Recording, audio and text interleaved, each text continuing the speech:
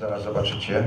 Detlefa to jest niebywale uroczy współpracownik, się zawsze miło z nim pracuję, z nim zrobiłem już trzy filmy i, to jest kolejny film i, ten, i, i jak, jak zwykle z przyjemnością wspominam te, te, te dwa miesiące, które spędziliśmy razem.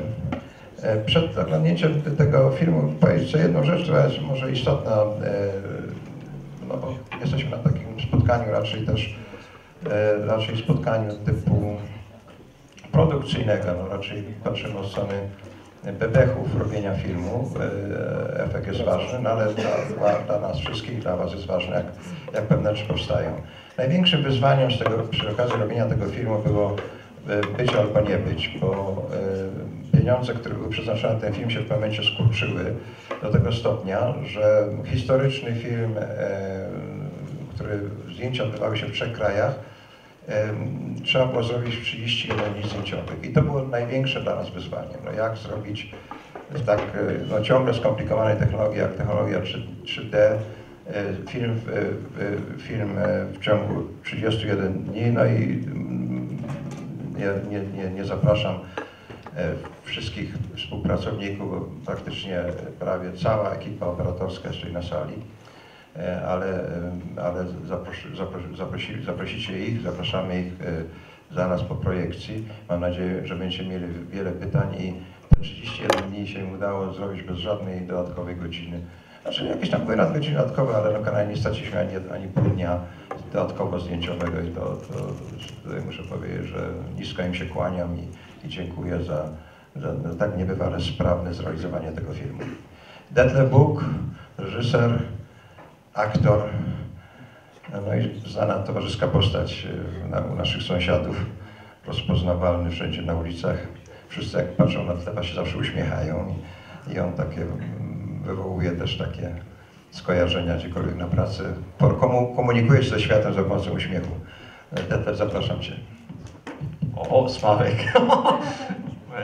Thank you very much for this. Oh, nice words. Um, yes, measuring the world. Um, I, I made a research and then I find out you can't travel into the past. It's impossible. And therefore, I chose, I think maybe if you put the glasses on, no, not now. I then, you, then maybe you make the travel into the past. And therefore, I think uh, this is very good to shoot this uh, in 3D. And because you can't travel into the past, you have to design a whole world. And this is quite complex. And um, it was a really heavy experience to make the movie, but at the end, I, I really I liked the experience. And I asked Slavik, because I know before the two, two movies you did together, that Slavik is open, always open for new structures and new experiments. And the structure in this movie is complete unusual because you can't compare this with, with other things. Um, yesterday, when you started your seminar here, 40 different stories uh, started, and this is you. At the end, you will have 40 different movies. In this Measuring the World, we have two, two lives, and and and they become they, they connect at the end. It's the life of uh, Alexander von Humboldt, an explorer, and the mathematic genius uh, Carl Friedrich Gauss. This is, was I, I never find an example in film history so, because this is a double biopic in a way. So I brought you 45 minutes and hopefully you will enjoy it a little bit. It's short in German. Hmm, yeah. we tried to shoot it in French and in Spanish, uh, but at the end, it's German. Anyway, you will understand hopefully what is going about. And then at the end, I will be proud to, to, to that the crew comes here and we can talk a little bit about our work. Thank you very much.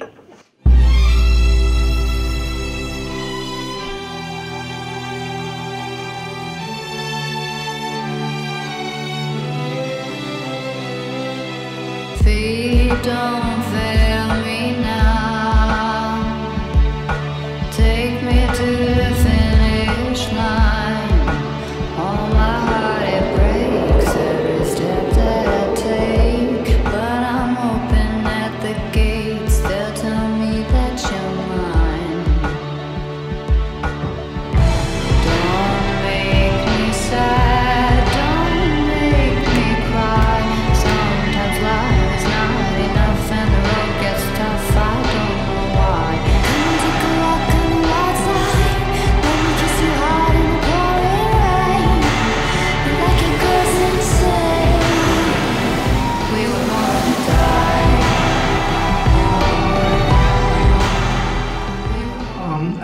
When I uh, made the decision to, to make this movie in 3D because of the traveling, and um, a lot of colleagues came to me and said, "Oh gosh, don't do this. It's not necessary." And, and you will have a lot of trouble. Don't think it's so easy. you will see that it's will make you mad, uh, make you mad, and you will lose every time. And. And I must admit, I felt quite secure with Zwabek and his team um, because I said they made this before in Battle of Warsaw. I saw the movie, and then say at the end, a a 3D movie is three dimensional, and when I look to this scene, it's three dimensional for my eyes. So I I'm I look three dimensional, and three is two plus one to speak in Gauss way. That's it.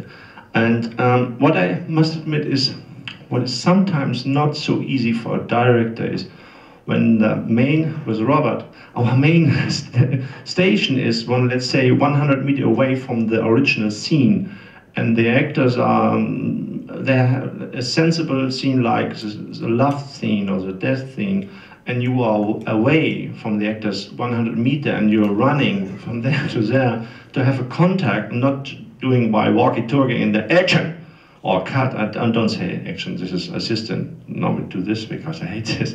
Uh, or you said thank you, and we do one more, not for security, because no more material. Um, I, I, sometimes I prefer to stay because I I, um, I don't want to lose contact with the actors. Sometimes this is what is makes sometimes very special. And at the end, you we shot with a lama in the beginning. Uh, He's from Mongolia, and uh, he never left Mongolia. And then uh, he was an actor, and I showed him in the night after the shooting what we did. And he put on the glasses and was laughing and said, "That's fantastic! It's like you look through a window." And this is, describes it perfectly what a 3D is. That's it. It's a llama. He's simple. W sumie to pewnie z milion technicznych pytań bym miał, ale em, zauważyłem podczas projekcji, nie wiem czy to była kwestia ekranu, co, to, co to za siły było, taką, w lewym oku, tak mi się wydawało, taką winietę mm, 20 czy 30 centymetrów, czy coś, co to było? Jest, no, to jest w trakcie produkcji film, no to nie ma, nie, nie ma usuniętych błędów e, ste- stereoskopowych, nie, nie, e, no, chcieliśmy wam to pokazać. No tam, jeżeli mówimy w ogóle o poszukiwaniu języka, e, jak, jakiejś nowości, e, to tam jest taka scena, kiedy nadchodzi ten oficer, tyka pa, palec w ekran i w tym momencie Andrzej zmienia bazę i ten palec wychodzi sztucznie jakby z ekranu. W tym małym ekranie nie jest aż tak widoczny, ale oczywiście no, w dużym kinie, w prawdziwym kinie będzie ten efekt podwójnie mocny, taki, no to akurat w takim filmie, e, a tutaj jest takich parę scen, które ocierają groteskę, e, to tego typu rzeczy no, wydawały się, że, no, że nie, nie oczywiście oceniać, ale wydawały się, że e, są ciekawymi, mm, ciekawymi zabiegami. To jest technologia, która y, no, wymaga poważnych poszukiwań językowych i, i tu na pewno ona czeka na, na, na, na, na Was, na, na Wasze pomysły, na potraktowanie tej, tej przestrzenności w sposób bardziej dramaturgiczny i, i nie na razie nie, nie, nie, nie pozostanie na efekcie na, na, na, na, na, na, na zachwycania się tą, e, tym, że po prostu jest to patrzenie przez okno, tak. Detlef przed powiedział, tylko żeby poszukać e, jakichś rzeczy, które niewątpliwie z tą technologią się pojawiają. Znaczy, Że pan jest zakochany w technologii 3D jako operator, to już wszyscy wiemy. Mam pytanie do reżysera, czy ma pomysł na następny film i czy będzie go robił w technologii 3D, czy yy, posługując się tym narzędziem odkrył jakieś nowe możliwości dramaturgiczne, bo teraz yy, już technologia 3D coraz bardziej ją poznajemy, a jednak dramaturgia się zmienia w filmie. Before I made a comedy, I think it don't make sense to shoot a comedy in 3D. Not by comedy because it's flat. I don't think it should be a physical comedy, not intellectual. And but it's, when it's physical, yeah, a good comedy is. Yeah, you're right. No, I'm wrong. no, when especially I think I would use 3D when you you make an approach for something new, like a science fiction. It's it's a new world, and then you make the you, or a historical movie. And now this movie is not, uh, I think, mm, or in black and white, maybe. That's it depends uh, really on the action in the script, and uh, you don't have to shoot everything in 3D. And- also at the end, I must admit, after 15 minutes of looking to a 3D picture, the eyes get used to it, and you accept it's normal. Like you look to a black and white movie, and suddenly they change and they invented color movie. Wow, yeah. After a while, it's color. So, oh, uh, how is the story? How it goes on with the story. So you get used to it, and and and uh, then you want the content. It's uh, attraction lose after 50 minutes. Uh, same, and I think uh, it's it's every new invention. You get used to it, and and then you you- you're looking for the content and not just for the attraction. I think, but th- therefore. 3D is 2 plus 1, it's one dimension more, and you have to control it. It's very interesting when we shoot, when we have, let's say, this room. I can see everything, uh, uh, every extra in the room, if he's sleepy or he is not in the mood, or the, you have to, to be totally precise with everything. And this is makes much more much more complex and but there is there's a quite good chance to make it richer hmm. To ja pozwólcie, bo my mamy oczywiście następne wykłady. No ja chcę powiedzieć rzecz, no, która jest bardzo istotna i ja się... Jest, a, przepraszam bardzo, nie wiedziałem. Nie, no ja chciałem Cię zapytać, Sławek, bo tam są, jest kilka halacji takich flar po prostu. Jak ty, jaki Ty masz stosunek w 3D do takich efektów, które się dzieją na obiektywie? No bo one są dosyć nienaturalne i jakby trudno je w tej przestrzeni 3D umiejscowić. Jak, jak Ty się na to zapatrujesz? Znaczy, jak na początku, wiesz, no, przerażony na początku techniką, to, to wiesz, no i, i, i, i tym, co czytałem. Ale wiesz, mając przy, przy sobie Andrzeja i, i oglądając tego na dużym monitorze, bo to jest, wiesz, jakby zaleta. Myśmy zawsze mieli bardzo duże monitory, wiesz, 50 na planie. No to miałem poczucie, że można sobie pozwolić e, rzeczy, może złą, kiedy, wiesz, no, pada bezpośrednio słońce na lustro i rzuca jakikolwiek cień. No bo wtedy to jest nie do, do mieliśmy takich parę momentów, i to, to oczywiście trzeba, tego trzeba pilnować, ale generalnie biorąc, e, dopóki to nie jest afera wynikająca, że te odbicia dla prawego i lewego oka e, nie są męczące, bo tak czasem się zdarza, no, jakieś tam powierzchnie wodne, że masz e, w jednym oku e, ten refleks, a w drugim go nie ma. Czyli i to, to akurat y, Andrzej i, i wiesz, i Łukasz wychwytują natychmiast, bo, się, bo, bo, bo wiesz, bo nic tylko się wpatrują w takie rzeczy. To nie, nie, nie widzę takich przeszkód, żeby nie mieć, y, żeby nie mieć takiego zaflaru. Że, a poza tym, no tu jak wiesz, no, to jest półprodukt w tej chwili i te pewne rzeczy, szczególnie w tych wnętrzach tam pałacowych, które to jest w ogóle bzdura, jeśli chodzi o kolorystykę w tej chwili i tam są jakieś, jakiś błąd przy kopiowaniu tego, tego planu ogólnego, bo ja wziąłem ten plan ogólny w innej kopii i to było dużo lepsze. E, To oczywiście e, w związku z górnym światłem, no to będziemy to od góry przyciemniać i to, co jest w tej chwili takie uciekająca uwaga w, sensie światła, no to potem w, już w postprodukcji będziemy to bardziej kontrolować, także tu, mi się, y, tu, tu, tu nie powinno być jakichś specjalnych problemów. Ja w każdym razie nie mam jakiegoś specjalnego odczucia, że w, sensie świecenia e, mam jakieś ograniczenia. No, do tej pory nie, nie wiem, może, może mi przypomnicie, może Łukasz, Andrzej, ale, albo Ania, no, czy Dror przypomną, ale nie, nie, nie, nie, nie, nie coś takiego, co by, wiesz, no jakby 4D i świecenie nagle wpłyn, żeby, żeby to doświadczenie, które mam jako operator e, normalnego kina 2D, żeby to miało jakiś wpływ na, na moją pracę. Chyba nie, nie, nie bardzo. w jaskini, gdzie e, Humboldt i Bonplan idą z pochodniami i te pochodnie tworzyły ducha e, odbitego po, po przekątnej na, na obrazku. Natomiast e, tak się złożyło, że cała scena miała taki charakter mm, straszny, że oni też nie byli pewni, gdzie, co to są za miejsce, czy wyjdą stamtąd żywi, także to akurat myślę, że się dobrze złożyło i, i zafunkcjonowało. No tak, ale to są techniczne rzeczy, wiesz, no to są beki techniczne, to są wielkie kontrasty, jest efekt ducha, należy to unikać i ale to, to też mi się wydaje nie ma wpływu na, wiesz, to nie wynika ze świecenia, to wynika raczej z, no, z ograniczeń technicznych tej techniki. To, z wynika głównie z ograniczeń, pro, z ograniczeń projekcji, bo gdybyśmy mieli dwa niezależne, separowane od siebie obrazy, to byśmy tego nie widzieli w ogóle. generally speaking about um, different um, characteristics in, in both eyes.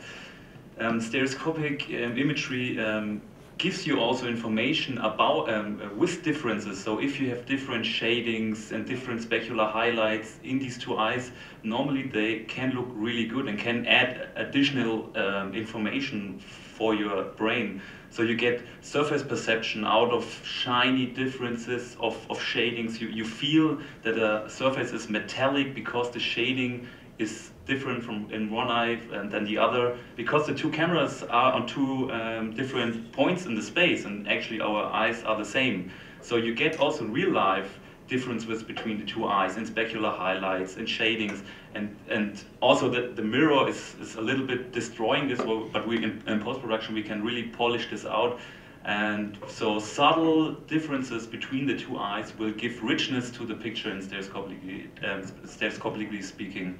So there's artifacts when you get two strong differences, but the small sh- shiny differences they give richness and um, surface perception to the images. So you have to difference between the technical like flares and all that stuff, but all these small issues that um, yeah give value to the picture because stereo, stereoscopy don't only tell you where objects are but also what they are. You, you should remember this.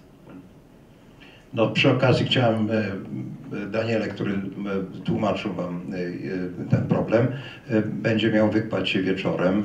Daniel, can you please explain, you know, the topic of your lecture? So it would be a good introduction for the evening lecture, please. Uh, so I will uh, have a lecture at I think 5:30 about stereoscopic um, depth perception. So it's no technical um, about cameras and post production. I will have post production tomorrow, but today I will focus just on the perception of depth. So how do we perceive depth? What informations to the is the brain evaluating, and we should consider this information when we make decisions um, on set. We have to keep in mind how our brain perceives depth information and I will focus just on the perception of depth because I think you can from this standpoint you can really it can really help you make the make your decision on set so I won't talk anything about camera rigs and all that stuff so um, but only about um, perception depth perception It could happen a little bit later because we have in between one other um, and we are a little behind the schedule, so.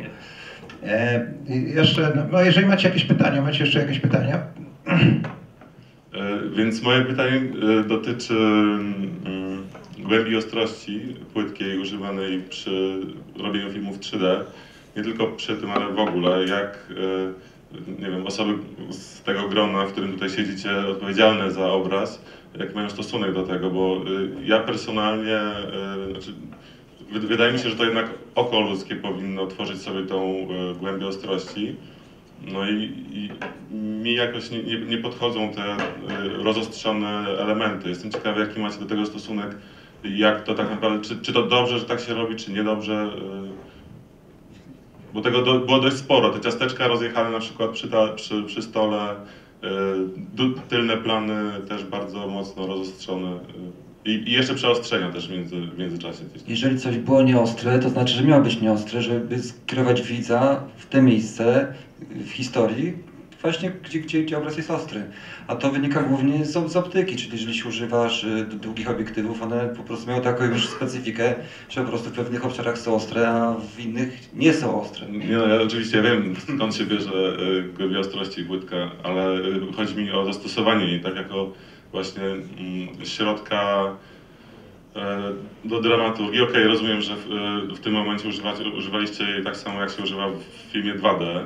Jeżeli miałbyś obraz ostry, prawda, i byś skonwergował sobie akurat na ten obiekt, to te elementy przed od tym obrazem dla Ciebie były nieistotne, one były dla Ciebie, nie, nie wiem, na przykład nieostre.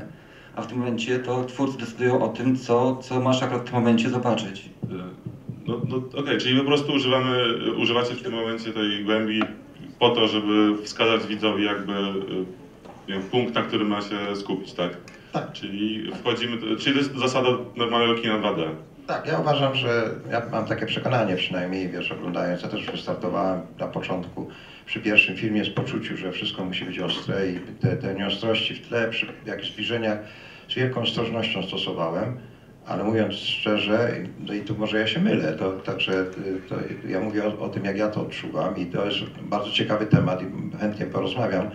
E, może w nie w węższym gronie, bo może mm, musimy skończyć niestety już e, nasz, nasz, nasze spotkanie, bo czekają następne wykłady, E, ale, ale e, mnie się wydaje, że, e, że ten rodzaj nieostrości, przynajmniej to, co widzieliśmy tutaj, że jest akceptowalny, ale tak mówię, chętnie na ten temat porozmawiam. Jeżeli ktoś odczuwa inaczej, to bym chciał posłuchać słuchać argumentów na, ten temat, bo być może akurat ja osobiście popełniam błąd w myśleniu 3D. Nie mam takiej, ja przynajmniej osobiście patrząc na, oglądając e, takie ujęcia, odbieram je, moje oczy odbierają to w porządku.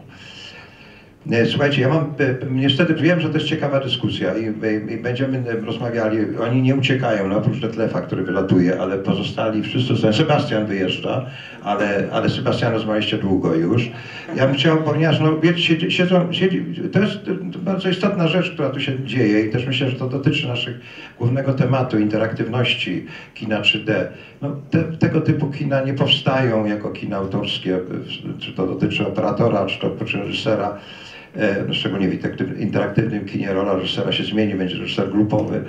Będziemy o tym rozmawiać, będą specjaliści, za chwileczkę przyjdą koledzy z CG, CG Project, którzy będą rozmawiali właśnie o, o takim, takim projektowaniu e, gry komputerowej, ale przecież to się przełoży na widowisko filmowe w przyszłości.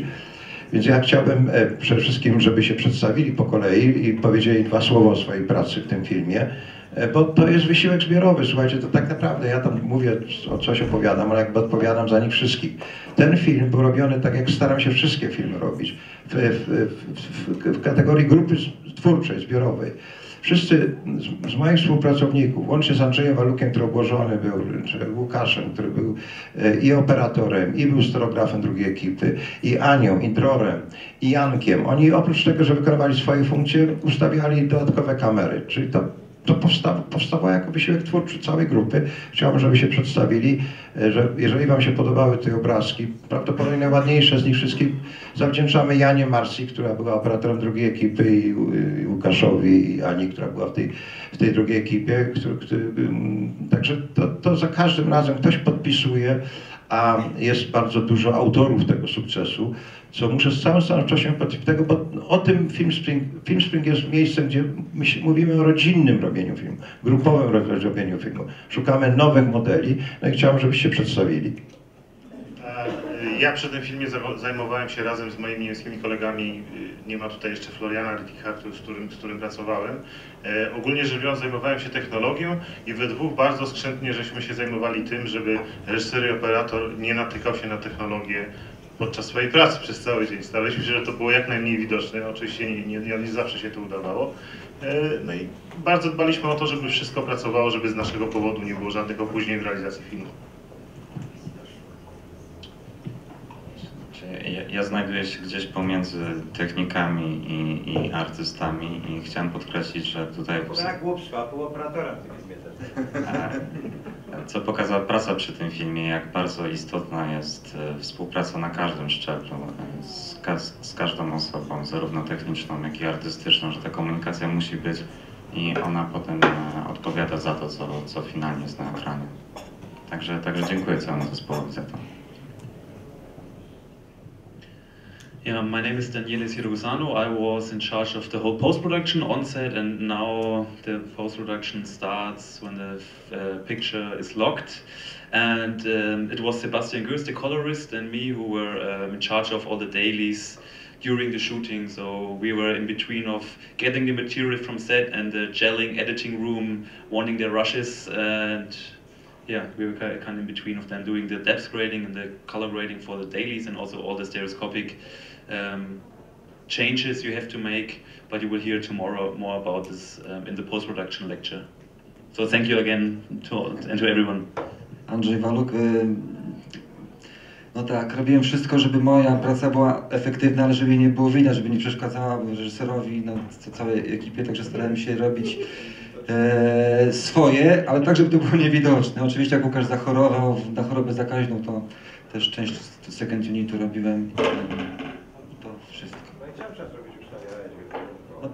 No, no, no, no, no tak, no i pomagałem.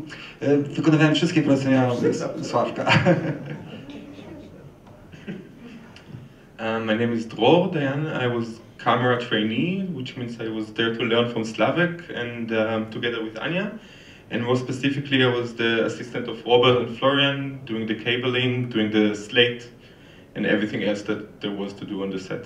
I'm sorry, Dror. Set, second, second camera, small, you, you set up, you know, a lot of camera, but please tell what you have done on the location. Okay, so one interesting thing that we had on the on the shoot is, um, except for the big rigs, we also had big small rigs of small Panasonic cameras, and they were always there, and everyone that had the time to use them could use them to set up uh, shots. So a lot of time between putting cables and doing the klappe, Anya and me would run around and try to put those cameras somewhere to get another shot uh, out of the scenes, and it was also a very good experience to, to do shots that can end up in a big feature film. I'm Anja Läufer and I did the same as Draw and I did the recording for the second unit as well. Za mało powiedziałem. Nie, nie, to trzeba powiedzieć. Powiedzcie, no. Po- Powiedz Janek więcej. ja- Powiedz Janek, że ustawiała kamerę.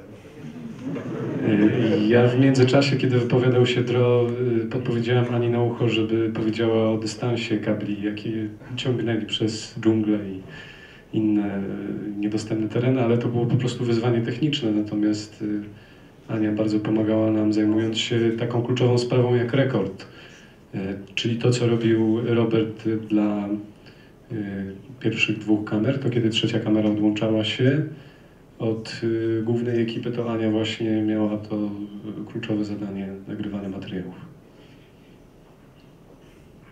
Czasami atakowały nas zwierzęta, na przykład w tych, w tych momentach, ale, ale wszystko się nagrało. Ja nazywam się Sadowski, byłem fokus polerem i asystentem technicznym. Ja nazywam się Andrzej Cichocki i też miałem zaszczyt być operatorem kamery. Ja mam na imię Kasia i pomagałam też Dro, Ani i pionowi operatorskiemu. E, moim głównym zadaniem było dostarczenie baterii do wszystkich kamer, a było ich sporo. E, I w wolnym czasie też kręciłam ujęcia na GoPro. Hello, my name is Sebastian Kramer, and uh, we supplied uh, three uh, mirror rigs for the production. And um, I personally was only there for the first 10 days to make sure that uh, the people get used to the rigs, and I tried uh, the best to support it. And then we had another uh, guy from our company, Holger, who was there for the entire time. Na